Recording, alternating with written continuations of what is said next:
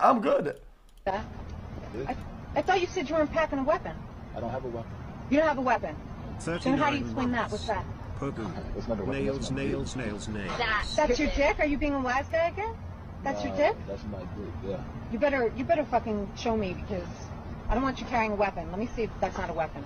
So you want me to take my dick out? Well, hello?